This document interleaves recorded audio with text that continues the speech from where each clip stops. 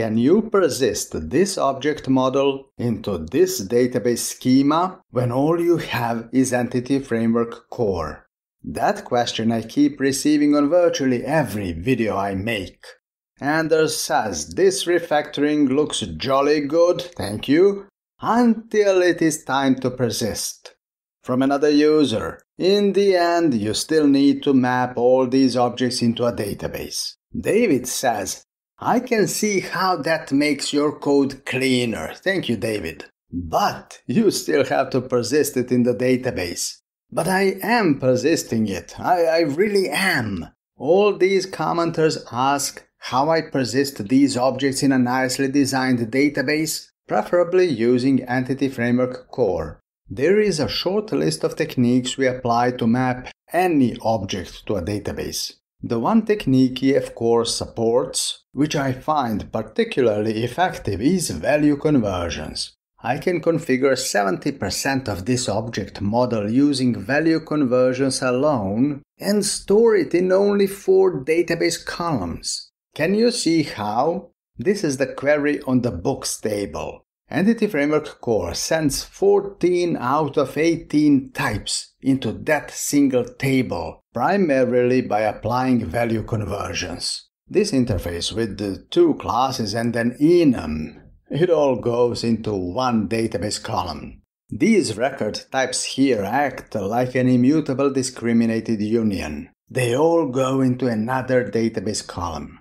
Another group of records acting as a discriminated union only adds one new column. I have implemented all these mappings as value conversions. It's time to step to code where I will show you how. Meet the first property we shall map with the EF Core. This class is modeling a book, and this property indicates the book's language. The entire model is quite large. Please ignore everything except the elements I show you, or otherwise you might not be able to follow through. Persisting the culture info object is difficult because no database supports that class. This is the class where I have configured the mapping of the book class. I instructed the EF Core to ignore the culture property before I set it up.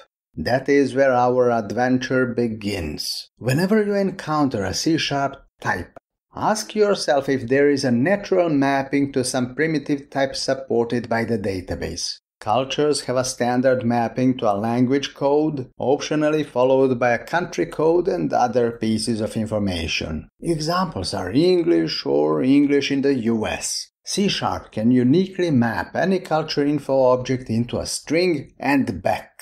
A perfect job for EF core value conversions. You can call the hasConversion method on the property builder and specify the mapping expressions. This one maps a culture info into a string. The name property guarantees to return a standardized string. The other expression goes the opposite, mapping a string into a culture info object. I can optionally specify the column's type in the database. My blind guess is that up to 20 ASCII characters would be sufficient. Congratulations, you've got yourself the first full-blown mapping of a C-sharp class into a database-supported primitive type. This is the migration I have just created. You can see that there will be a culture column on the book table with a type I specified. I will call this a success right now. We are done with the database mapping. I will not explain how Entity Framework works in this video. I expect you to have a good grasp of it already. Entity Framework will use public or private constructors, public or private property setters, and fields to initialize the object. It is a common practice to include a private constructor whose only purpose is to accept the data from Entity Framework. That is where I will ask for the culture info object when loading from the database. That is the beauty of value converters in Entity Framework. All you see in your classes are proper types like culture info. All the database sees is the varchar column. In between is a value converter that moves one into another and then back again. The conversion happens only once when loading the object and at most once when saving changes. It is quite efficient. So I did it. One property down, two more to go.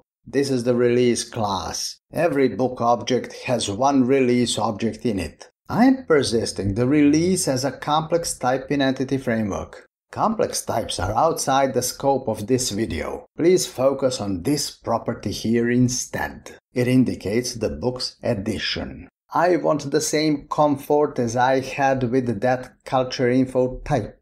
I want the private constructor to receive an instance of this interface iEdition and to set it to the property. I don't want any trace of primitive types used in persistence here. That is where things begin to complicate. iEdition is just an interface. Any class can implement it. How can we support the persistence of a possibly infinite number of classes?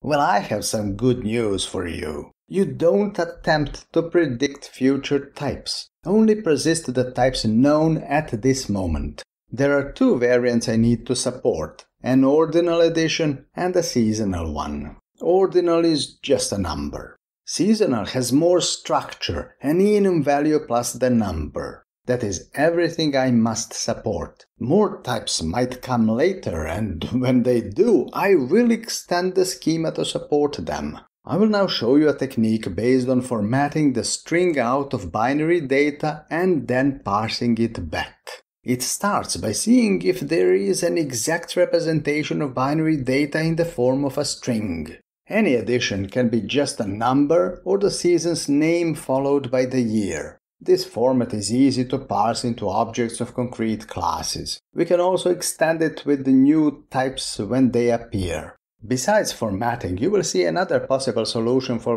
persisting editions in a few minutes. There will be a lot of new code from this point on. All source code is available on my Patreon page. Please remember that every patron is helping hundreds of fellow programmers watch all the videos I make for free. You can find the source code from this video and all other videos on my channel on Patreon. The link is in the description. Now please focus on turning edition objects into well-formatted strings and then parsing them back.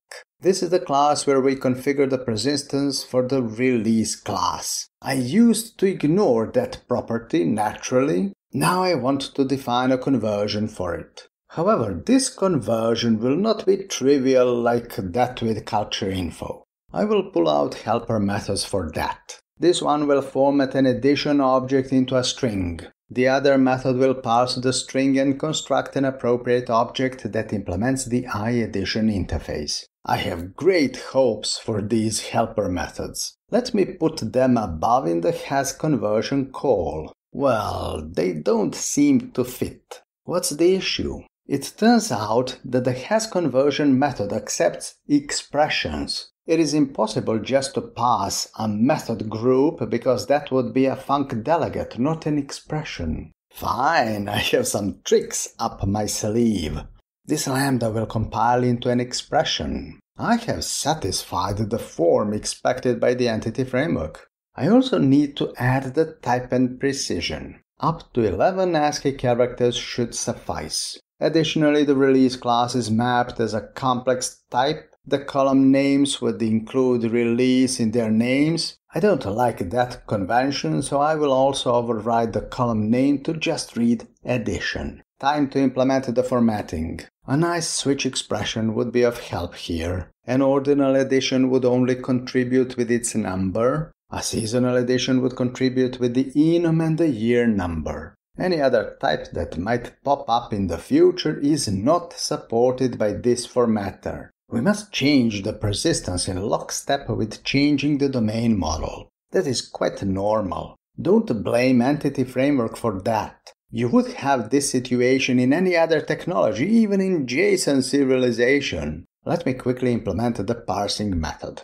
I am splitting the representation around a white space. A variant with two components must be the season and the year, so I parse them separately and construct the seasonal edition object. A single component must be the ordinal number. Here is the resulting object. Any other form would be a surprise, I let the mapping fail in that case. That is all I had to do to support the elaborate formatting of all objects that implement an interface into a varchar representation and then parsing back into those same objects. Adding the migration will go smoothly. Here is what Entity Framework has created for me. Just a single column named edition up to 11 ASCII characters wide, non-nullable. This is marvelous if you think it through. Any object will be written into a handful of characters within this single column. Persistence is quite condensed, while C-sharp code is as polymorphic as ever. I have the best of both worlds. The last property I want to map is even more complex than the edition. I will only show you the finished code.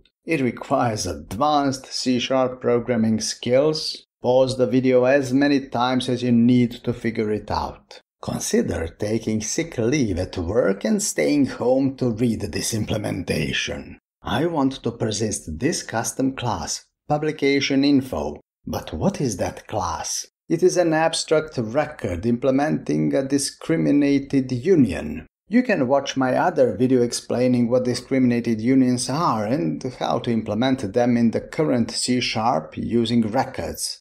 The new discriminated unions syntax for C Sharp is around the corner. It will make this definition a tad shorter and, most notably, remove the need for a custom mapping extension method. Still, the syntax does not affect how we persist records using Entity Framework. The publication info abstract record defines the publication state of a book. It can take one of the three forms and nothing else. The book was either published on a specified date, planned for a date, or not planned yet. Two out of three variants depend on the publication date type. It is another discriminated union modeling dates at varying levels of precision. In the publishing business, the date is either exact, or just a month with a year, or just a year. This discriminated union models the three possibilities. Time to map the objects into primitive types in the database columns. I have made a unique plan regarding this complicated property. Instead of attempting to encode it somehow, I have decided to split it into two. The first part is to isolate the runtime type of the publication info record. It will be one of the three types you saw a minute ago. The second property will contain the optional publication date that might be present depending on the publication's actual type. This property will either be an object or null. Please observe that this is the only null used in the entire application. I generally don't need nulls in object-oriented modeling. I know better than that. But this property is private and its only purpose is to support persistence. Databases use null fields regularly to indicate missing values. Hence, I accept nulls in properties like this one. Nevertheless, converting the database produced values back into domain objects will ensure that any null is removed. Any release instance populated from the database will have its publication property set to a non-null object. Time to encode those two properties. I'm instructing Entity Framework to ignore the principal property, publication. Then I instruct it to store the private property of type type named publication kind. I want to convert the type into a string using the type's name and then convert that name back into a type object. Encoding the publication date will be more engaging. The column should be nullable. The record is encoded into an int value with a caveat. Pay attention to this. By default, Entity Framework will not invoke conversions for null values. It will just store null in the database or set the property to null. Therefore, the conversions must only bother with proper objects even though the database column will be nullable. The moment of truth. These are the object mappings for the type and the publication date. Pause the video and read these methods carefully. There is great wisdom in them. I will now query the database to show you the data. This is the full content of the books table populated using Entity Framework Core. The culture column comes from the culture info C sharp type, yet it is a text. Usually, an edition is just a number with two books having a seasonal edition. The encoding works just fine. Publication kind is the name of the underlying type. You will recognize planned books, published ones, and even one that was not planned yet. That one book has no publication date, so the field is null. Other books contain a date encoded as an integer. You can read the date easily. This is June the 9th, 2004. But some dates come with no day, some others come with both the day and the month missing. Can you see how beautifully compact the encoding of all the objects is in my application? And yet my entire model developed in C Sharp remained unaffected. Neither the relational schema nor entity framework could stop me from using the most advanced programming techniques I needed in my project. I would be grateful if you shared this video with your colleagues. You can subscribe to my channel and learn more about modern programming in C Sharp.